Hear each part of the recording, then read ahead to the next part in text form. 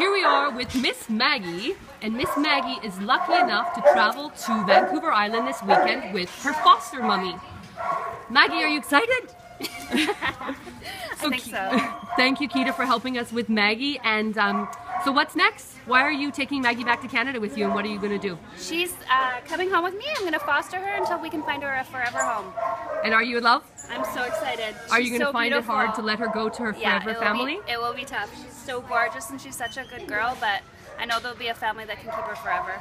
And how do you think in, in Canada the, the mentality and the feelings towards pit bulls? What what what do people feel about pit bulls in Canada? Um, there's definitely the stereotypes, right? That Mm-hmm. pit bulls aren't friendly and everything, and I'm hoping that we'll be able to break some barriers by um, bringing her to Port Alberni, where she can meet some people face to face, and they can see how beautiful she is, and and how much of a great asset she'd be to their family. Oh, Maggie, Kita, congratulations.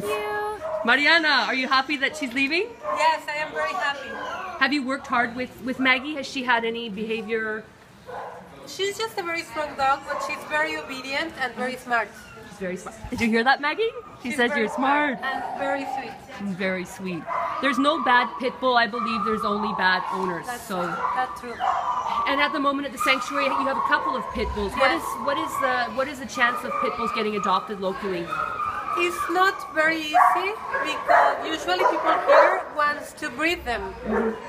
So it's not very easy to get them up for adoption. Excellent work, Mariana. Congratulations, Kita. Hi, Carol.